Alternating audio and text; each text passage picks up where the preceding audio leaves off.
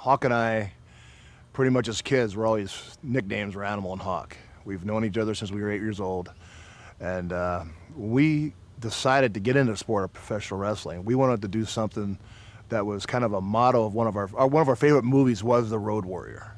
That was one of our favorite movies, and we said, you know, everybody's always in typical wrestling tights and this and that in wrestling. I said, what can we do to uh, to change our gimmick? And Hawk says, hey, I got it. Animal, why don't you have a regular mohawk and I'll have a double mohawk so it looks like we plug into each other, you know? So that's the, and then, so that's how the haircuts came about. Our style is 110% nonstop, go at them. We come at you hard, we hit you hard, we want you to hit me, hit us hard back. My favorite move, and I was known to do that throughout time, was press slam. Before top rope broke one time and it landed on my shoulder and I dislocated it in the middle of the middle of a match. I had my manager yank it out and put it back in place. But uh, I press slam. I was known to press slam all the big guys. I press slam Killer Khan, who was 330 pounds over my head for three repetitions. I did Terry Gordy, who was 300 pounds. I did. I was the guy that was known. I pressed Hulk Hogan in Japan when Hulk was 325. I was the only guy ever to press Hulk Hogan. We were the only guys ever to press Crusher and Bruiser, who were in the wrestling business phenoms, never went off their feet for 15, 20 years, and we press slammed both of them at the end of their career. I think wrestling fans, when I talk to a lot of wrestling fans around the country, as far as going as a most favorable match or most rem- memorable match they have of us, usually the war games scenarios come about, which are two rings inside of a giant cage, and you have to. And one of our patent, my, my patent moves and my partners was to dive across both rings and give a guy a flying shoulder tackle. The worst out, the worst injury that I had in this wrestling business was I had orbital rim surgery. Uh, a guy landed on my head in the ring, guy named the Warlord, big guy, he's from Minnesota too. Um, he landed on my head in such a way that my eye had popped out and had popped back in. But when I went too far, too far, it, my orbit was totally shattered. It went in too deep, so they had to pull it back out to its original spot, and they operated through my mouth and through my natural crease on my eye, so there was no scarring. But it was the worst thing that ever happened to me in my life. The Japan ones were pretty special They went on a belt in another country.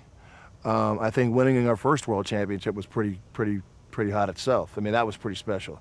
You know, here you are in a business that you look and I watched at the time, and I watched Hulk Hogan and I watched, you know, uh, Superfly Jimmy Snuka and I watched all these guys flying, and I said, man, here I go in my first tournament, and Hawk and I win the belts.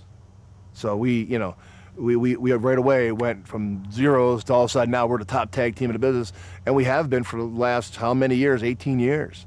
You know, everybody's trying to emulate us. There's been many of uh, imitators, no duplicators. If you want to get in wrestling business, I advise you to be in tip-top shape.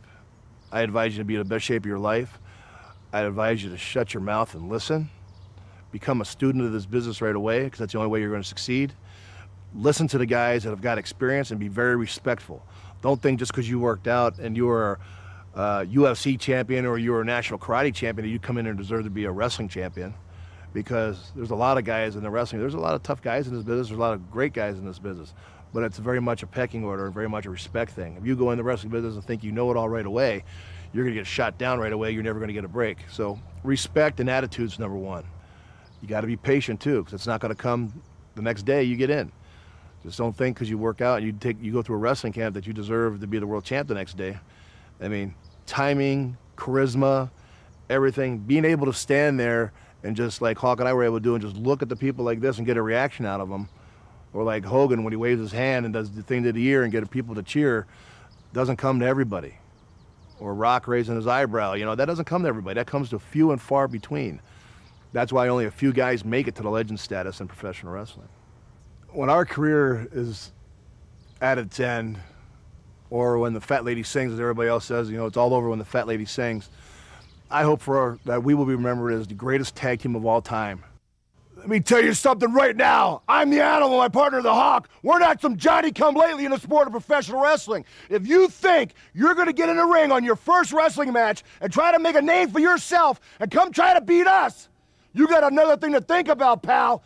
We are the Road Warriors. We are the Legion of Doom. We've been the best tag team in the history of professional wrestling, and we're not handing that up to anybody. That's what I'd say to my opponent. that was awesome.